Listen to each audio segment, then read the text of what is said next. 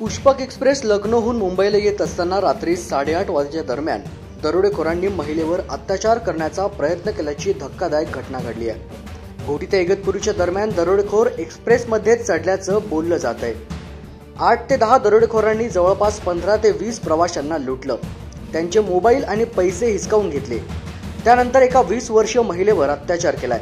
महिलेवर जबरदस्ती करत असल्यानं एका प्रवाशानं दरोडेखोरांना विरोध केला. चिडलेल्या दरोडेखोरांनी त्या प्रवाशाला बेदम मारहाण केली. या प्रकरणी कल्याण रेल्वे पोलिसांनी गुन्हा दाखल केला असून चार जणांना ताब्यात देखील घेण्यात आलंय. तर इतर संशयित फरार आहे. या प्रकरणी रेल्वे पोलीस अधिक तपास करत आहेत मात्र या घटनेवरून पुन्हा एकदा रेल्वेतून प्रवास करणाऱ्या महिलांच्या सुरक्षिततेचा प्रश्न ऐरणीवर आल्याचं दिसतंय.